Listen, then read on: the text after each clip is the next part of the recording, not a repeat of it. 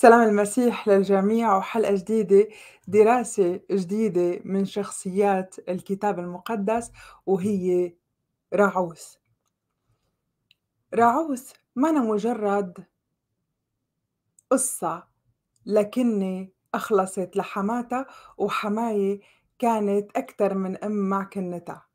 راعوث هو أمر منتعلم فيه وشخصية منتعلم فيها. كيف نعيش حياتنا مع الرب الإله؟ إلى أبعاد روحية رائعة جدا اجتماعية رائعة جدا نفسية وإنسانية عظيمة جدا. رح نكتشفها مع بعض بهالحلقة.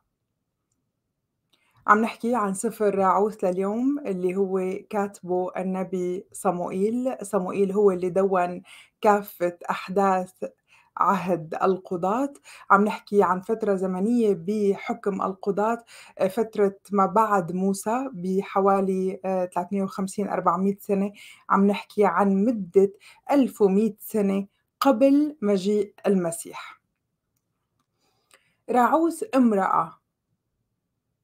والكتاب المقدس آه، من الكتب الدينية النادرة جدًا اللي أكرم المرأة ورفع قدرها وشأنها عبر العصور، في ناس بتفتكر إنه فقط بالعهد الجديد لما قال الرسول بولس برسالته لأهل غلاطيا ليس يهودي ولا يوناني ليس عبد ولا حر ليس ذكر ولا أنثى لأنكم جميعا واحد في المسيح يسوع. فافتكرنا أنه من هون تساوت المرأة مع الرجل بكل شيء أمام الرب الإله هو بصراحة بيورجينا هالسفر أنه لا من العهد القديم الرب الإله ما ميز بين ذكر وأنثى. وأي نوع من النساء كانت راعوث راعوث أممية يعني حتى مانا يهودية على خلاف كل الأنبياء والأسفار اللي دونت بأسماء رجال للرب الإله راعوث حتى مانا يهودية.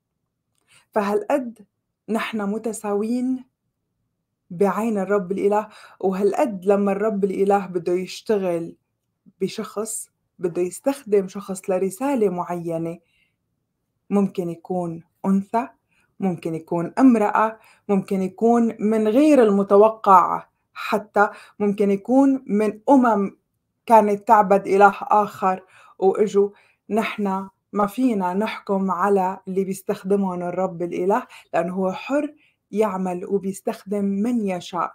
هذا السفر بنشوف فيه مع بعض العناية الإلهية.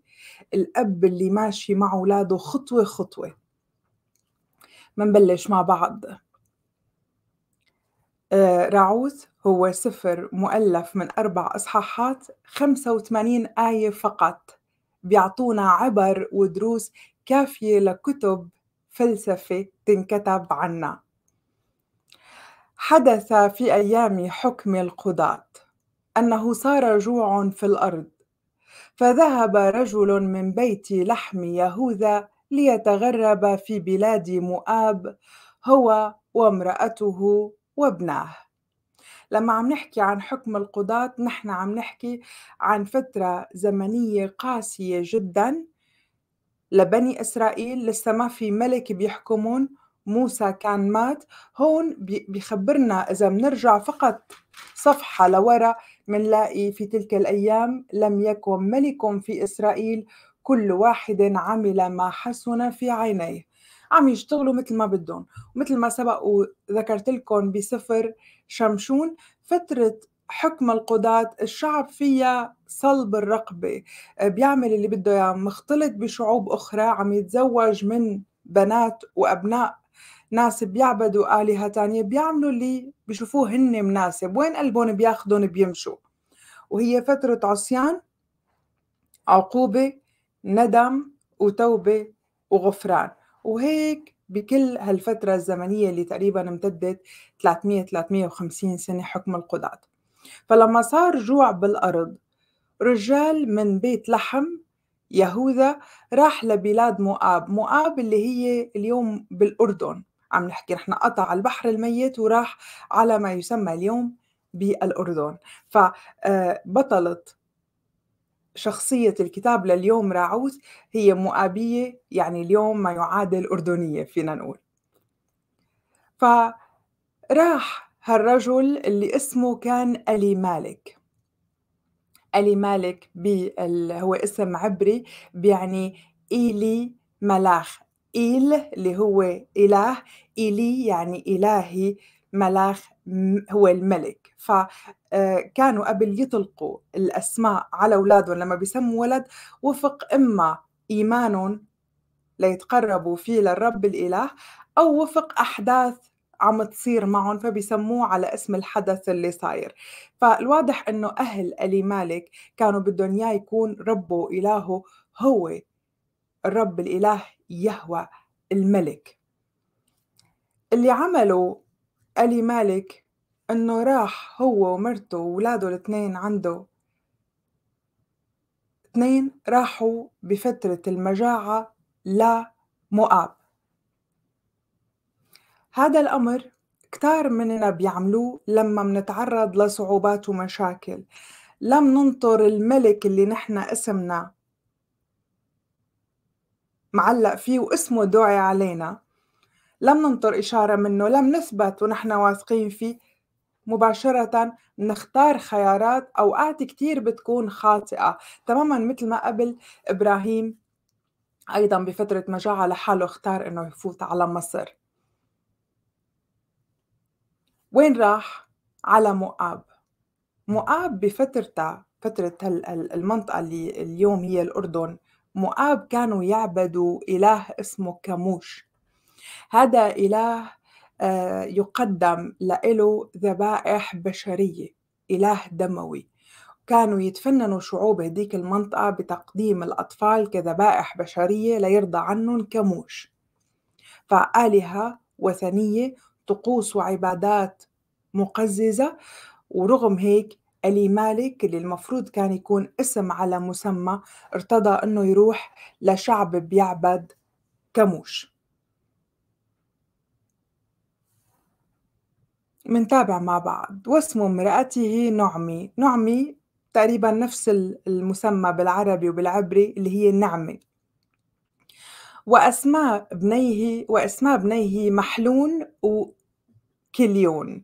محلون هي من مثل المحل المحلون اللي هو كمان اسم عبري بيعني مريض. كليون كمان بيعني الكليل أي المتعب. فالواضح أنهم كانوا بفترة زمنية صعبة كتير.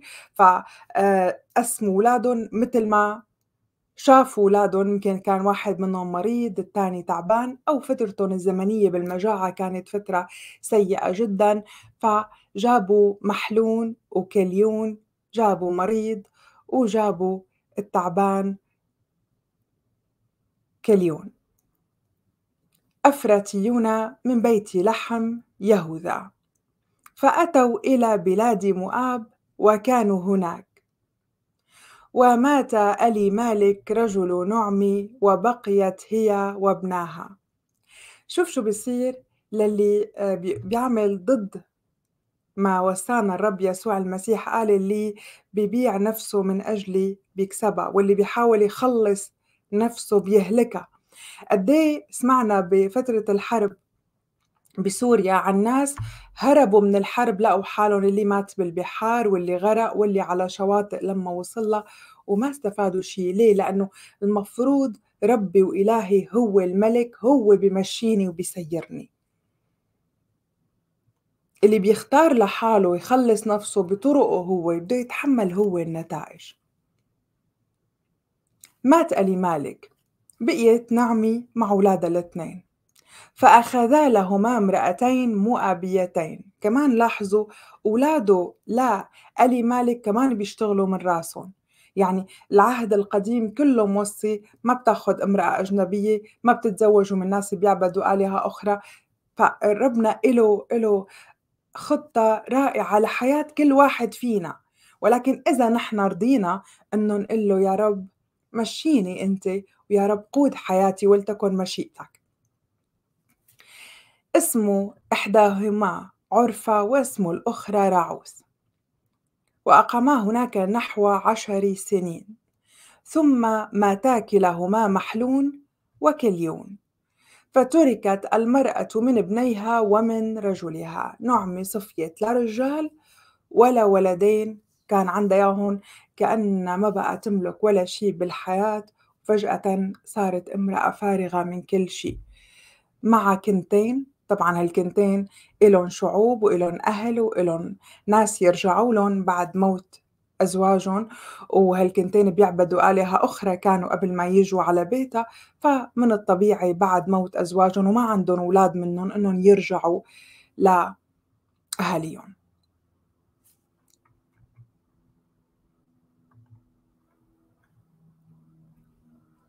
فقامت هي وكنتاها ورجعت من بلاد مؤاب. لأنها سمعت في بلاد مؤاب أن الرب قد افتقد شعبه ليعطيهم خبزا. كمان هون هالتفصيل قد بنمشي بالأرض يمين وشمال بحياتنا. ما بنسأل الرب الإله عن شيء لما نترك فارغين تماما. منطلع هيك في عنا وجهة هو الرب الإله. في عنا وجهة هو الأرض اللي بده إياها لإلنا. افتقد شعبه ليعطيهم خبزا. بيت لحم بالمناسبة بيت لحم هي كمان بالعبري بيت لخم اللي هو بيت الخبز. وخرجت من المكان الذي كانت فيه وكنتاها معها. وسرنا في الطريق للرجوع إلى أرض يهوذا. فقالت نعمي لكنتيها. طبعا هون نحن عم نحكي عن حالة رائعة جدا. نعمي امرأة لا تتكرر تعاملت مع كن... كناتها التنتين بطريقة أكثر من أم. هذا اللي اليوم بزمننا للأسف بنفتقده. اليوم بتلاقي الحماية مثل اللي مأجرة الكنة شغلة وبدها أجارة منها هيك لتموت. والكنة نفس الشيء يصعب جدا اليوم إنه يلتقى أيضا مثل راعوس. هالكنة اللي التصقت بحماتها بطريقة وكأن بنتها من صلبة نعمي شو قالت لكناتها؟ طبعا هون بنشوف مع بعض الأخلاق اللي تمتعوا فيها وأي شخصيات عم نحكي عنهم أي شخصيات اللي بيحب الرب الإله يشتغل فيها. اذهبا ارجعا كل واحدة إلى بيت أمها. ما قالت لحالها تعا خليهم عندي بيخدموني بكبرتي. يعني إذا وحدة ترجع لا بقرفها بالزواج الثاني بحاول كرها فيه. هي تعاملت كأنهم بناتها. روحوا ارجعوا لعند أهاليكم. وليصنع الرب معكما إحسانا كما صنعتما بالموتى وبي كانوا هن محافظين على حالهم على أنه ما يحطوا من قدر وقيمة واسم أزواجهم لو بعد وفاتهم. وليعطكما الرب أن تجدا راحة كل واحدة في بيت رجلها. فقبلتهما. ورفعن أصواتهن وبكين. فقالتا لها إننا نرجع معك إلى شعبك. هل قد نعمي امرأة آه، فريدة؟ تخيلوا الكنات اللي المفروض الكنة ما بتصدق تخلص من حماتها قالوا لها بدنا نبقى معك. ما بدهم يروحوا لعند أهاليهم. فقالت نعمي ارجعا يا بنتي لماذا تذهبان معي؟ هل في أحشائي بنون بعد حتى يكونوا لكما رجالا؟ أنا هسه بخلف بهالعمر لحتى أعطيكم تتجوزوا. ارجعا يا ابنتي واذهبا لأني قد شخت عن أن أكون لرجل. وإن قلت لي رجاء أيضا بأن أصير هذه الليلة لرجل وألد بنين أيضا هل تصبران لهم حتى يكبروا؟ هل تنحجزان من أجلهم عن أن تكونا لرجل؟ لا يا ابنتي فإني مغمومة جدا من أجلكما لأن يد الرب قد خرجت علي. كمان ننتبه للتعابير هي تعابير نعمي بوقت الضيق والضعف. كتار بيفتكروا إنه إيد الرب طلع خلص تقلت عليهم لإلهم. ليه ربنا هيك عم يعمل فينا؟ هي بالحقيقة إنه ربنا شايف نعمي وشايف كل واحد بواحده كيس منفصل هي غير ولادها هي غير زوجها. هي نعمة لساتها بس هي على اللي صار معها خلص ما عاد شافت في بارقة أمل بالحياة. ثم رفعنا أصواتهن وبكينا أيضا. فقبلت عرفة حماتها وأما رعوث فلصقت بها. هون منشوف القرار. دائما بحياتنا في مفارق طرق. ودائما قرارك بحدد الكثير اوقات بحدد كل مستقبلك اوقات بغير كل اتجاه حياتك. بس في قرار بده يتاخذ بسرعة بنفس اللحظة. وهذا القرار إذا كان ماشي وفق مشيئة الرب الإله وإذا كان حاطط الرب الإله أولوية هذا القرار ولا ممكن يخيب. شوف مع بعض راعوس شو عملت بجملة قالتها. قالت راعوس لا تلحي علي أن أتركك وأرجع عنك لأنه حيثما ذهبت أذهب وحيثما بت أبيت. شعبك شعبي وإلهك إلهي. شعبك شعبي وإلهك إلهي. حيثما مت أموت وهناك أندفن هكذا يفعل الرب بي وهكذا يزيد. إنما الموت يفصل بيني وبينك. قرار رجولي من من النوع الأول. ندرت حياتها لحماتها لا بدها تتزوج ولا في عشم عندها أنها تتزوج وحماتها مين؟ نعمة امرأة فقيرة. طالعين من مجاعة يعني فيها ترجع لعند أهلها. أكيد عندها أب وأم وإخوة وعيلة وأراضي ويشيلوها وهي بمؤاب بس ترجع لعند أهلها. قالت لها لعندك. وإلهك بدي أعبد. لحظة عبور وقرار للعبور أخدته راعوس بطريقة رهيبة.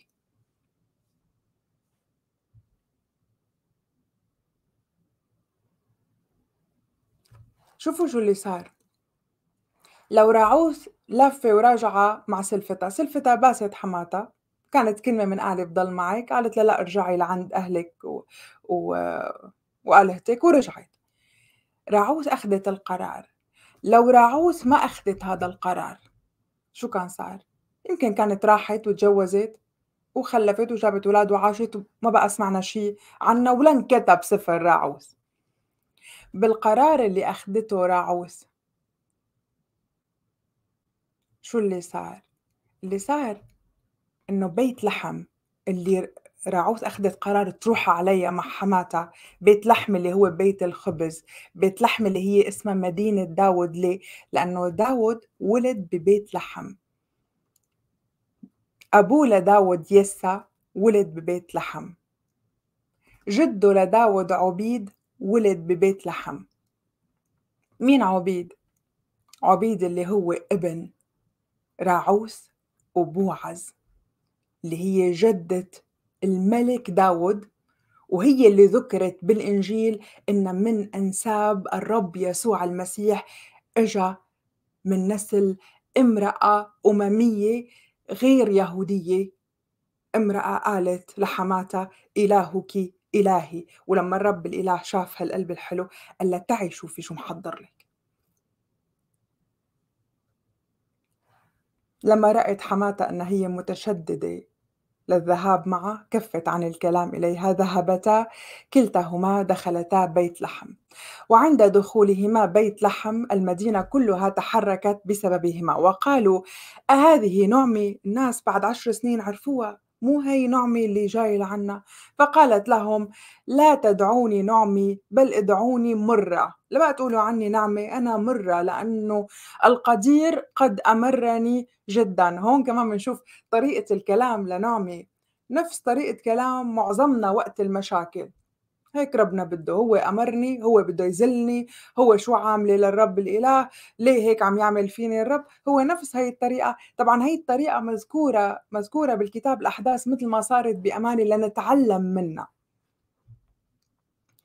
نعمي بوقتها ما أنا شايفة لقدام شو الرب عم يشتغل فيهم وبحياتهم ولا شو عم بيحضر لهالتنتين. هي كل شي بتعرفه إنه هي خسرانة جوزها خسرانة شابين ولادها الاثنين راجعة فارغة تمامًا تقضّي كبرتها. لو ما كنتها شفقت عليها وإجت لحتى تسترها وتخدمها بكبرتها هي كانت رسمي ما بقي لها حدا. فقالت لهم لا تدعوني نعمي بل ادعوني مرة لأن القدير قد أمرني جدا. إني ذهبت ممتلئة وأرجعني الرب فارغة. لماذا تدعونني نعمي؟ والرب قد أذلني. والقدير قد كسرني.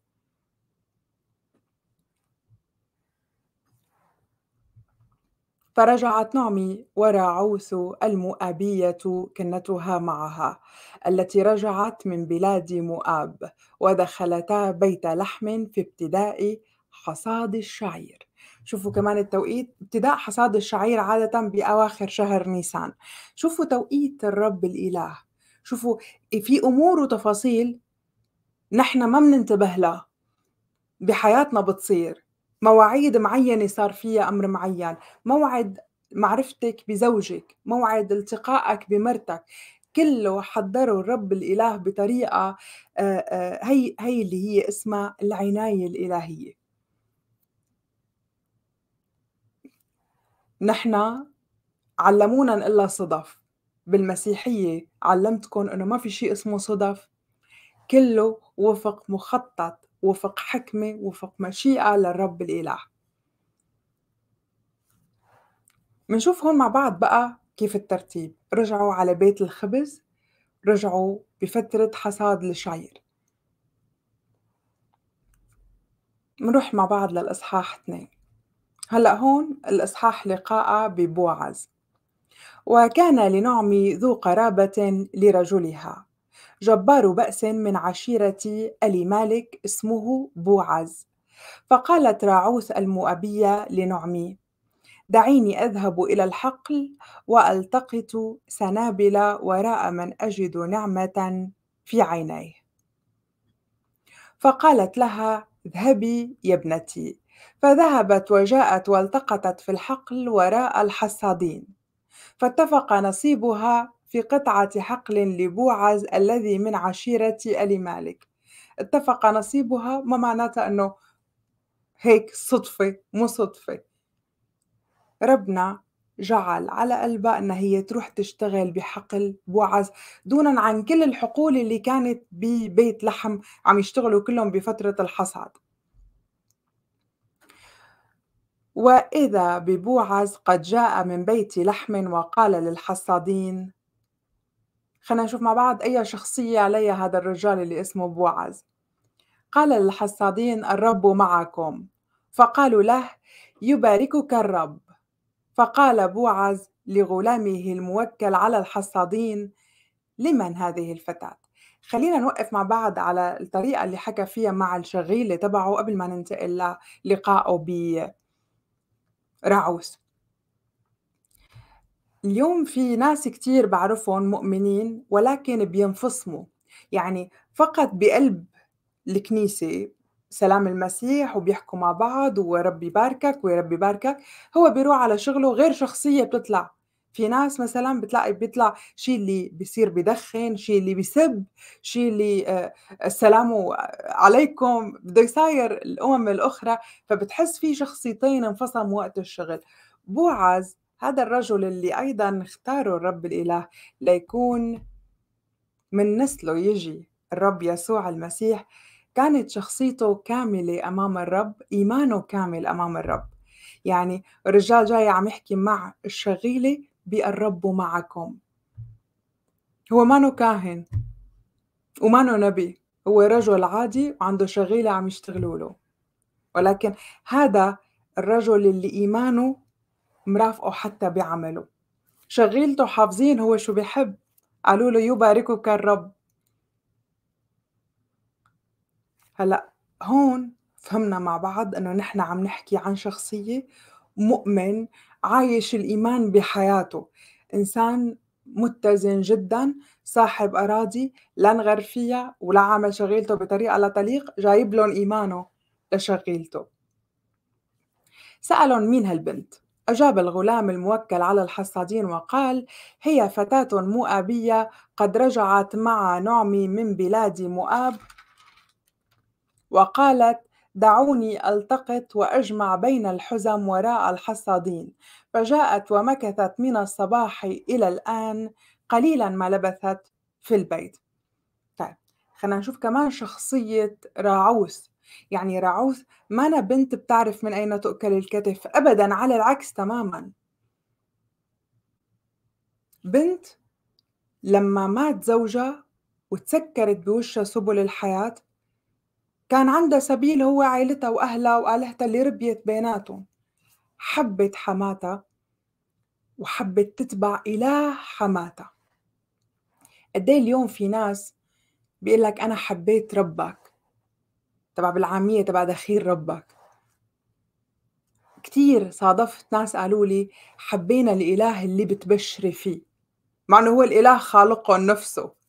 حبينا الإله اللي بتبشر فيه. اللي بتحكي فيه اللي بتعبده اللي بتتبعه. مشيت وراها علما إنه بتعرف حالها بدها تروح تلتقط. تلتقط شو يعني؟ يعني مثل الشحادة. يعني رايحة تشوف شو بيزيد من محاصيل العالم لأنها فقيرة لتاخذ تاكل وتطعمي حماتها هيك قررت تقضي حياتها بدون ما يكون عندها ولد. شو هالقلب؟ شو من, من شو معجون قلب راعوس؟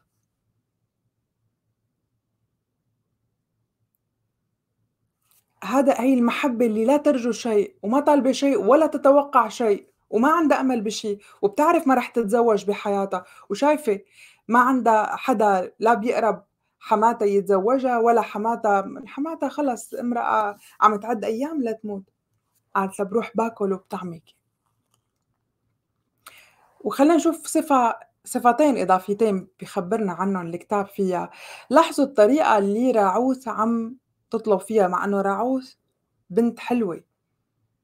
وبأول عمرها لساتها عم نحكي عن بنت احتمال تكون بالعشرينات من عمرها لسه الحياة كلها قدامها.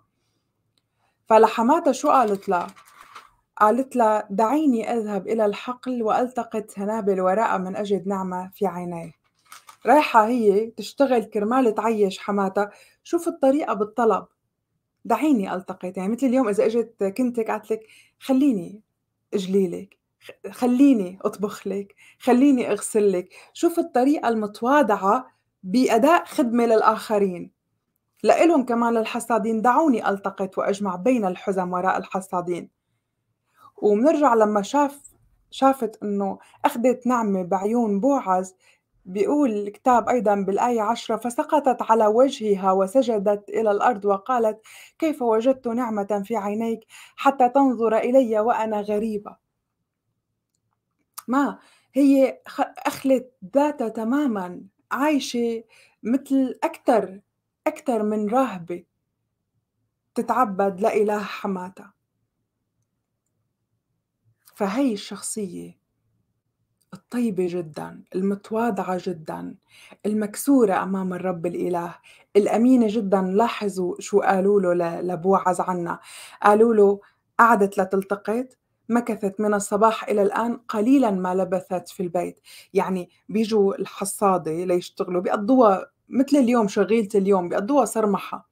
يا إجاني تليفون يلا رايح عندي مشوار بدي دقيقتين وبرجع لحتى يمضي نص الوقت ما شغل حقيقي. هي لا قليلا ما لبثت. أمينة يعني هي كلها على بعضها عبارة عن شخصية أمينة مخلصة لحماتها مخلصة لشغلها مخلصة لذكرى زوجها اللي مات مخلصة هي هي عبارة عن مخلصة مو بتخلص لأنه إلى مصلحة هي عبارة عن مخلصة بغض النظر عن الظرف اللي عم تمر فيه. وقد إيه في مننا ناس لما بيمرقوا بظرف صعب بيطلع أوسخ ما عندهم. لأنه فجأة بيفقدوا أصلًا الرجاء إنه في إله، وإنه آه، سر تعاسة قلبي الطيب كله بينطع على صفحات وعلى وسائل التواصل، هن طبعًا شو قلبهم طيب؟ هن لو عندهم قنبلة وغيّب القانون ليفجروا كل شي حواليهم أبو قلب طيب؟ وبيسوقوا بالحياة إنه نحن شو انعمل معنا بدنا نعمل أسوأ بالناس. نعمي لأ، وراعوث لأ. ومنشوف بشخصية بوعز لأ فمنفهم أي أنواع بيختار الرب الإله ليستخدمها ويشتغل فيها وليه في ناس مهما سعوا وحاولوا وتدينوا وقروا وبشروا غيرها لا الرب الإله بيعرف قلب كل حدا بالتمام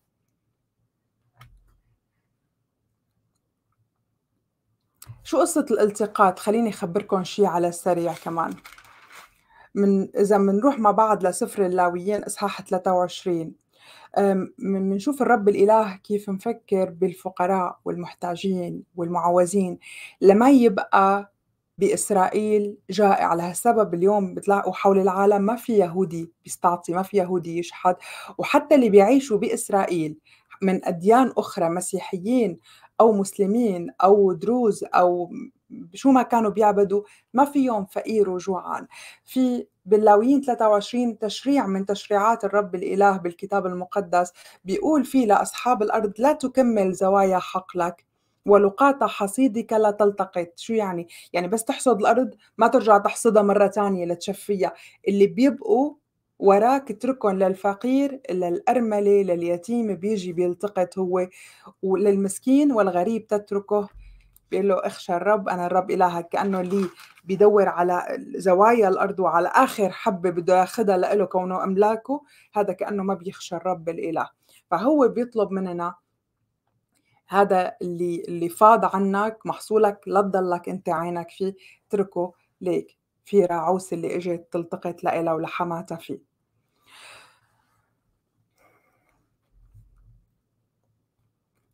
فنالت نعمة بعيون بوعز. شو هالمرة هي طبيعي تحترم. فقيرة غير فقيرة. طبيعي تحترم. امرأة مؤابية تركت عشيرتها وأهلها وأرضها ما عندها نية وما عندها هيك هيك. طبعا هي جاية لتطبق رجال وشباب وبدها تتزوج أو بدها أبدا رايحة تلتقط. يعني هي أصعب الأعمال اللي ممكن تقوم فيها بنت عمرها بهالعمر. فبوعز لها ألا تسمعين يا ابنتي؟ لا تذهبي لتلتقطي في حقل آخر. وأيضا لا تبرحي منها هنا بل هنا لازمي فتياتي اللي بيشتغلوا عندي صرتي وحدة منهم. عيناك على الحقل الذي يحصدون. واذهبي وراءهم. ألم أوصي الغلمان أن لا يمسوك؟ وإذا عطشتِ فاذهبي إلى الآنية واشربي مما استقاه الغلمان، خلص أنا شغّلتِك عندي لأنه هي الأمرأة الأمينة هالقد لازم تتكافئ بطريقة بوعز رجل من رجال الرب الإله ما بفوته إنه هو يكرمها لهالبنت اللي تركت أهلها وعشيرتها وإجت تعبد إلههم وإجت تقوم بأمرأة يهودية اللي هي حماتها لما قالت له مين أنا لحتى لاقي نعمة بعيونك؟ قال لها بوعز إنني قد أخبرت بكل ما فعلت بحماتك بعد موت رجلك حتى تركت أباك وأمك وأرض مولدك وسرت إلى شعب لم تعرفيه من قبل ليكافئ الرب عملك وليكن أجرك كاملا من عند الرب إله إسرائيل الذي جئت لكي تحتمي تحت جناحيه شايف الشخصية الكاملة المتزنة المؤمنة اللي عايش الإيمان بحياته وبعمله بيعرف يشخص الوضع صح. قد إيه بنفتقد اليوم حتى بين المؤمنين لناس يعرفوا ينصفوا صح وما يحطوا بذمتهم. آه شوف بركي عينه على حدا من الحسادة. آه بركي هذا شو بيكون مؤمن ها؟ وعم يحط بذمته الناس. فبوعز وكأنه كان معهم بهالفترة كلها. وكأنه شايفها كيف تركت أبوها وأمها وإجت مع حماتها وين إجت؟ هي ما إجت لعند بوعز وما إجت لعند حدا معين وما إجت لأنه عندها طمعة بحماتها أو بأملاك بتملكهم حماتها ببساطة جاءت إلى إله إسرائيل لكي تحتمي تحت جناحيه.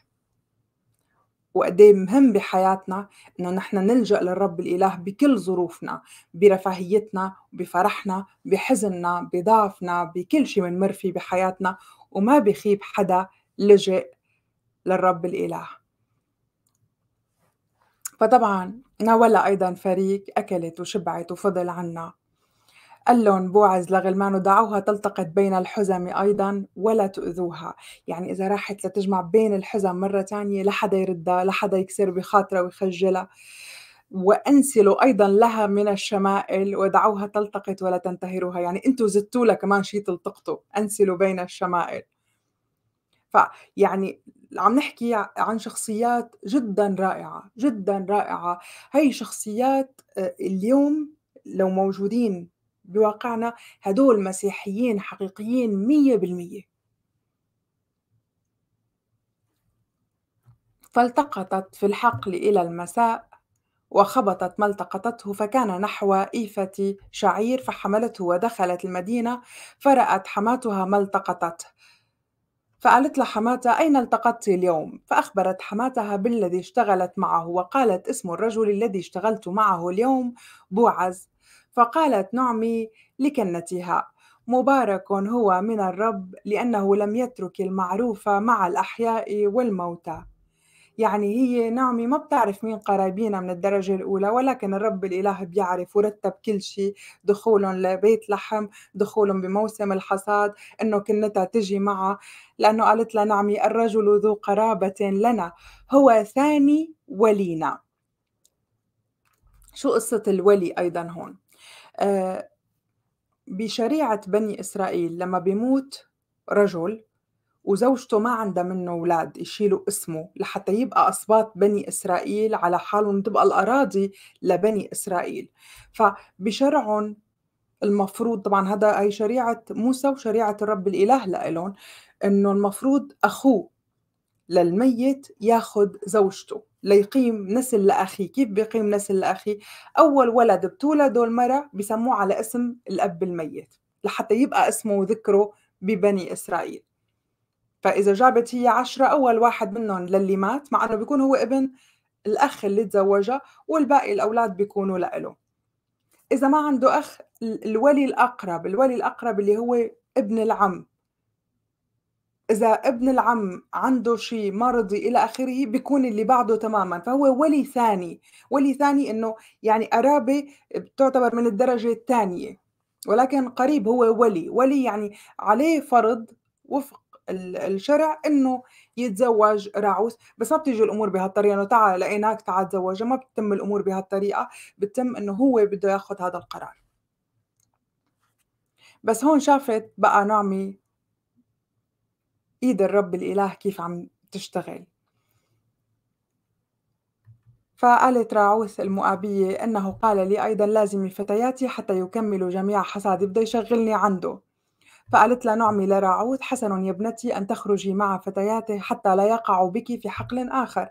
خلص خليكي هون أحسن ما يصير لك شيء مع ناس ثانيين يكونوا ممنح فلازمت فتياته بوعز في الالتقاط حتى انتهى حصاد الشعير وحصاد الحنطة وسكنت مع حماتها.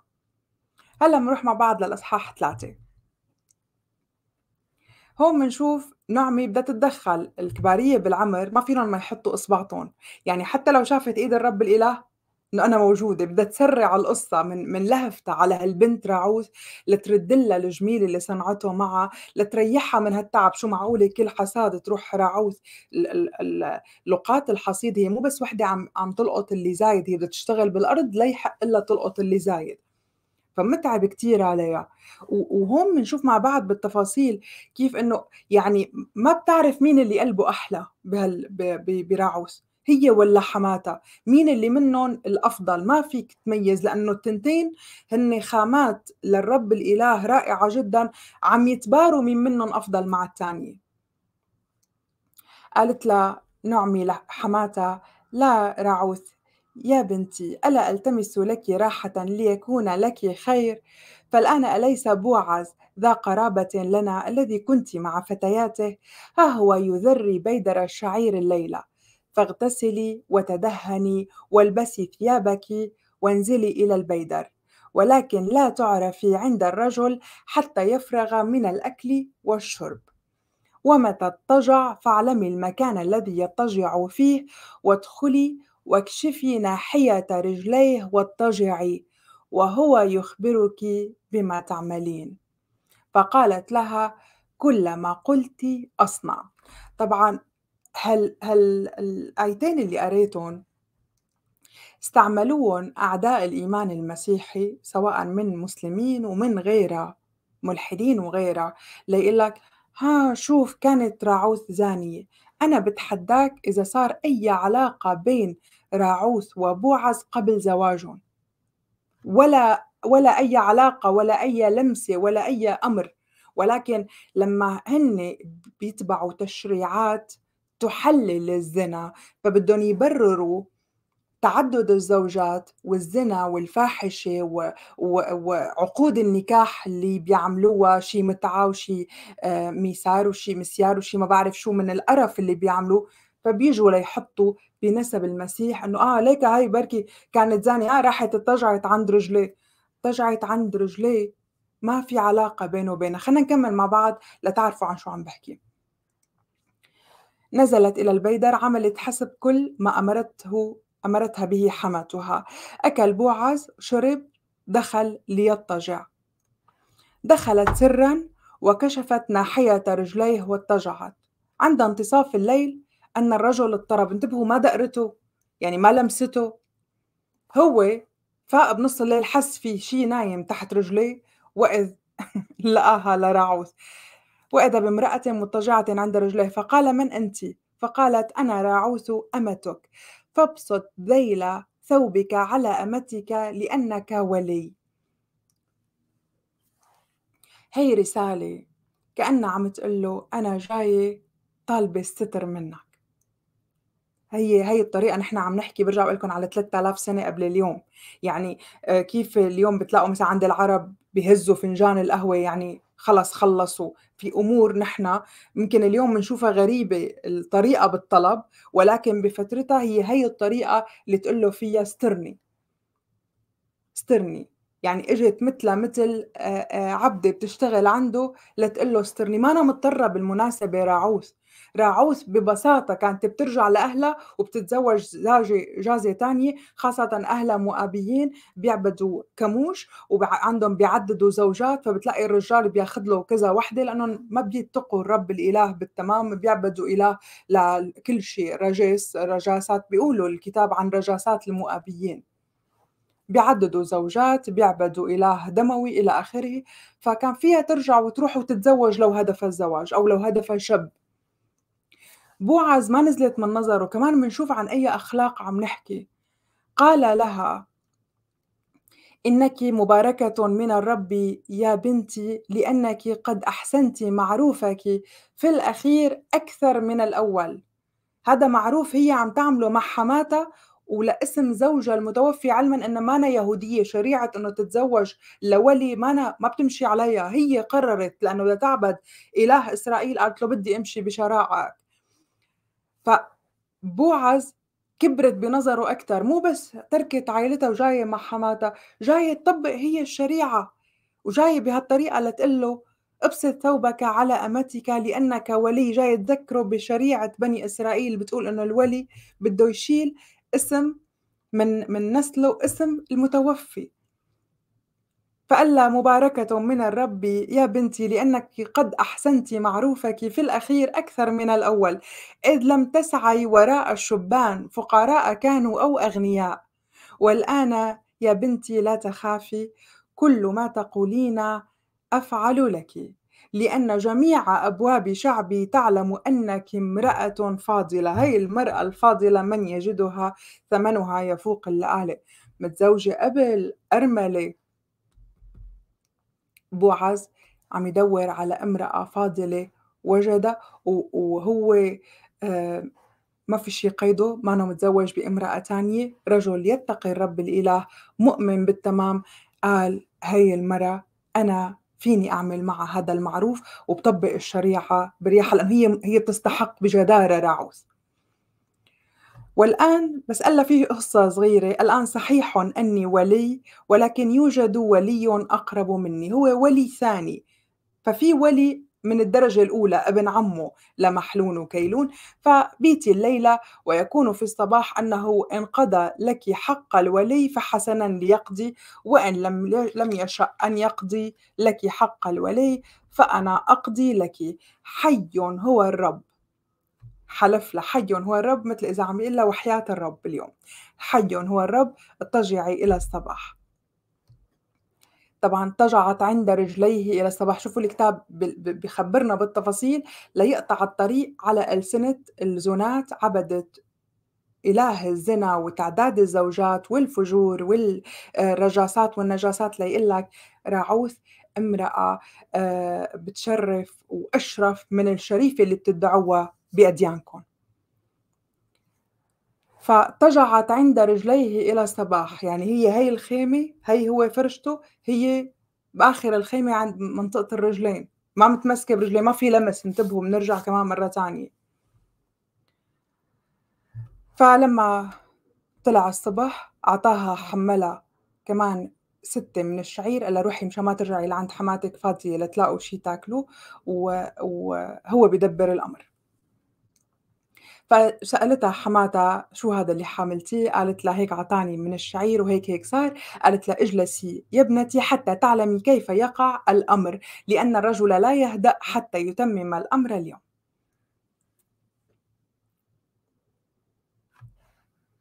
اللي صار بالإصحاح أربعة وهو آخر السفر إنه بوعز اجتمع ب فينا نقول شيوخ وأعيان المدينة كان بوعز صعد بوعز إلى الباب. نحن عم نحكي هون مثل كأنه مثلا المجلس اللي بيقعدوا فيه الكبارية.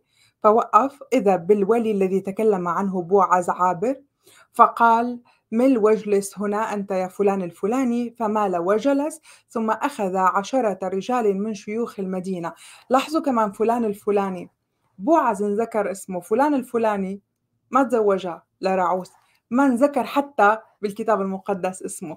لأنه اليوم لما أنت بتمشي وفق مشيئة الرب أنت ما بتعرف شو عم تعمل خير لحالك أصلا مو للرب. قد عم تفيد حالك بدون ما تعرف. بوعز ما بيعرف إنه من نسله جاي المسيح. بوعز كل شيء بيعرفه إنه هالمرأة في تشريع للرب الإله. بيقول ما بصير تبقى هيك. وهالمرأة بتستحق إن هي يتزوجها. على إخلاصها وأمانتها وكرامتها وشرفها وكل شيء فيها لرعو فقال له أخذ عشرة من رجال المدينة من شيوخ المدينة وقال لهم اجلسوا هنا جلسوا. ثم قال للولي إن نعمي التي رجعت من بلاد مؤاب تبيع قطعة الحقل التي لأخينا ألي مالك. فقلت إني أخبرك قائلا اشتري قدام الجالسين وقدام شيوخ شعبي فإن كنت تفك ففك وإن كنت لا تفك فأخبرني لأعلم لأنه ليس غيرك يفك وأنا بعدك. شو قصة الفكاك؟ في تشريع لكل شيء بالكتاب المقدس ما ترك شيء لا ميراث ولا تشريع أرض ولا حقل ولا ربا ولا فائدة ولا شيء إلا شرعه الكتاب المقدس. باللاويين إصحاح 25 بيقول الرب الإله لبني إسرائيل الأرض لا تباع بتة. ممنوع عليهم يبيعوا أراضي بني إسرائيل اليهود ما بيبيعوا أرض على فكرة لو مهما اندفع لهم فيها. لأن لي الأرض وأنتم غرباء ونزلاء عندي يقول الرب.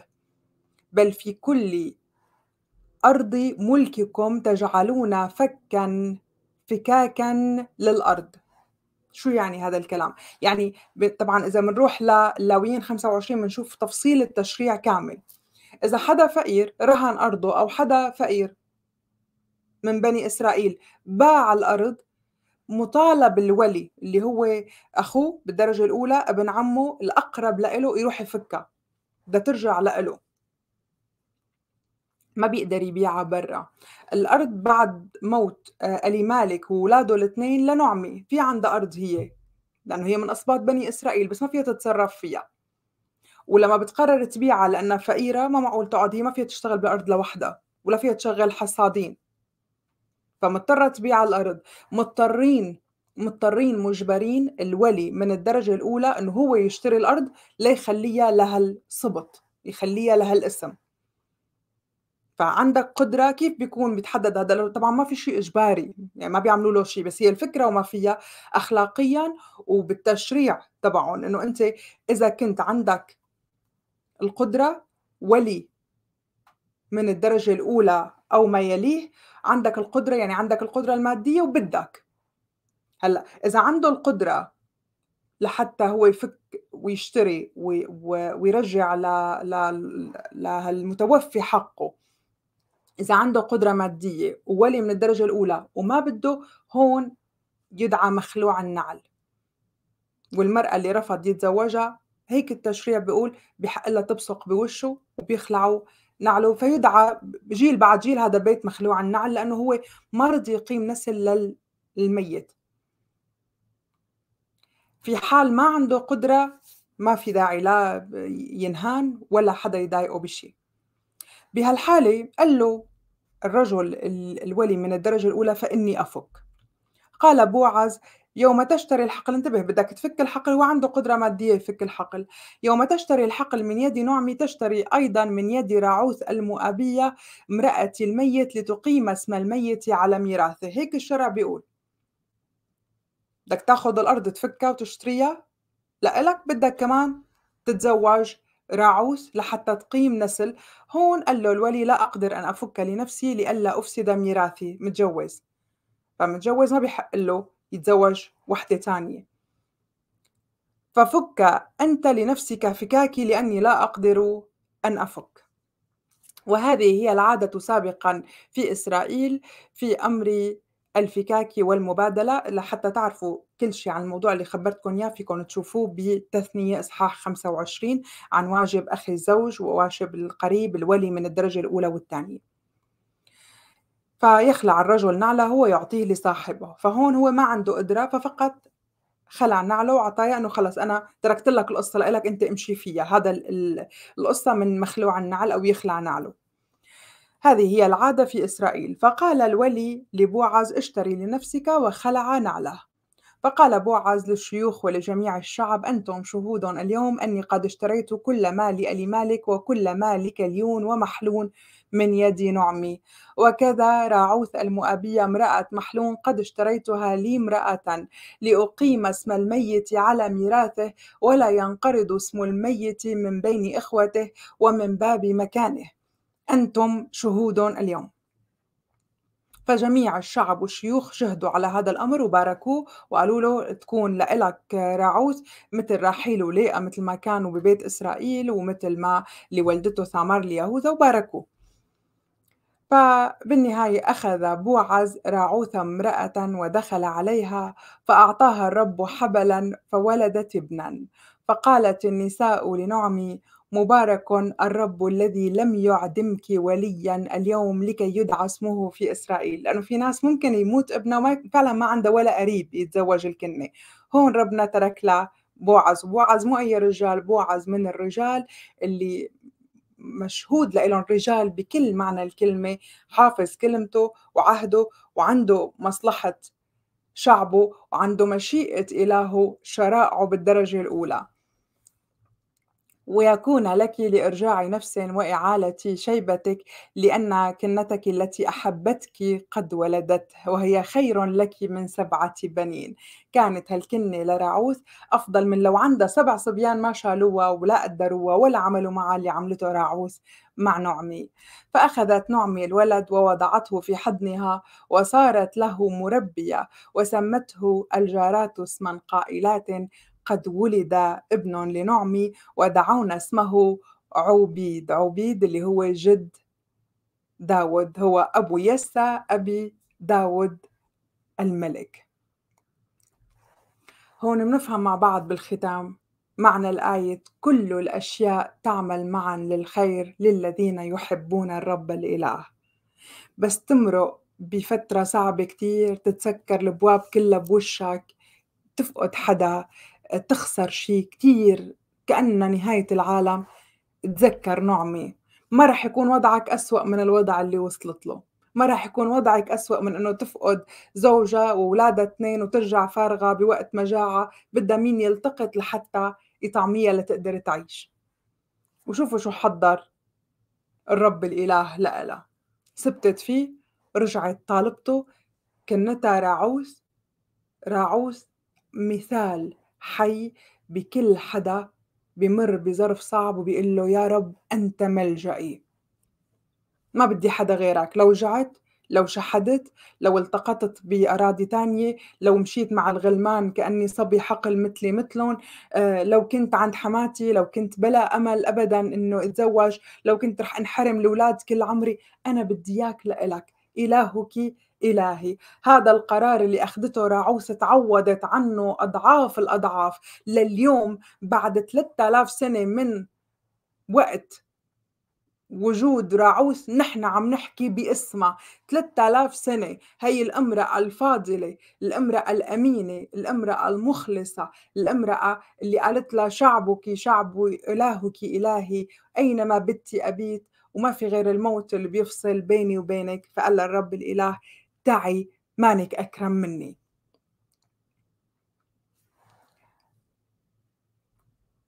لو بدنا أيضا نشوف بعد روحي أعمق لهذا الموضوع بنشوف كيف كل نفس إنسانية فينا اليوم رجال أو نساء محتاجين للولي.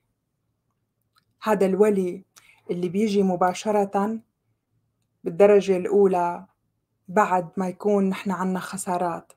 خسارات بالعائلة خسارات زوج خسارات أولاد خسارات بالحياة عبادة إله آخر من شعب آخر من أمة تانية. أوعى حدا يقول لك أنت ما ولدتي مسيحية خليكي على دينك. لو ربنا بداكي مسيحية كان جابك وكان من الأساس ولدتي مسيحية كذب ليكي راعوث.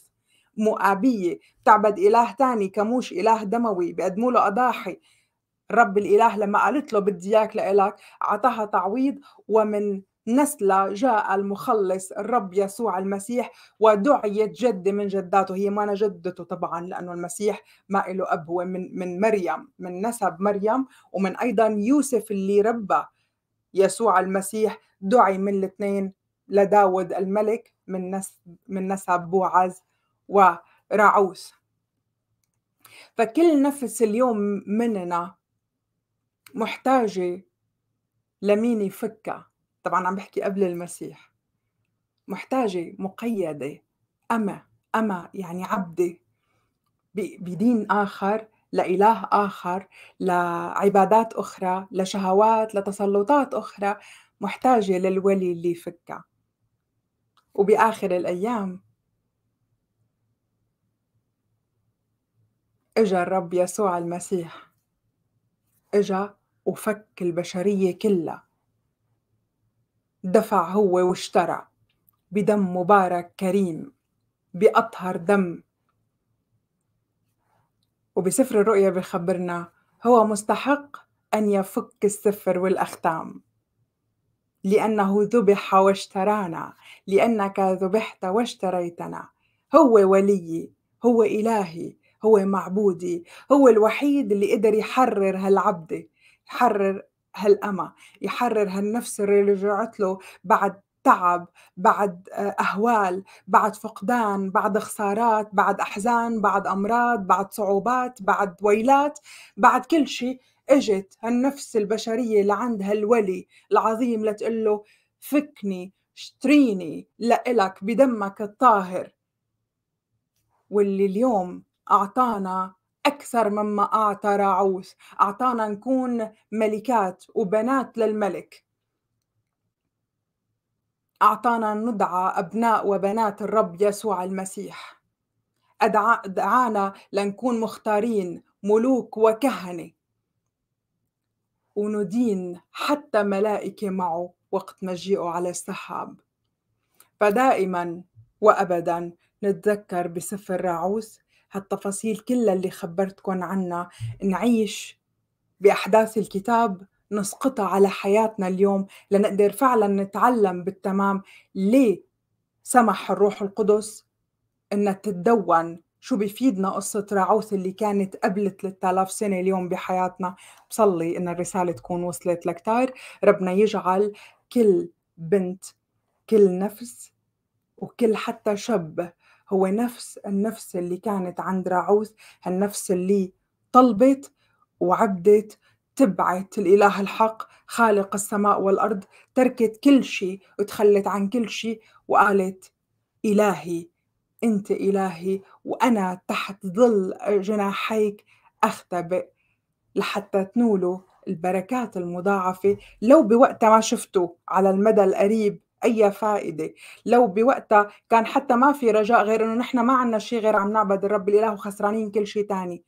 انطروا. مواعيد الرب بالتمام وعناية الرب مرافقتنا حتى لو ما شفنا هذا الأمر. بالوقت المناسب بيجي إله العهد. ليه اسمه إله العهد؟ هو إله العهد لأنه بيقطع عهد وبيلتزم فيه. إله العهد ليعوض وتكون التعويضات أضعاف أضعاف أضعاف الخسارات وما تخلينا عنه من أجل اسمه. سلام المسيح يملأ قلوب الكل.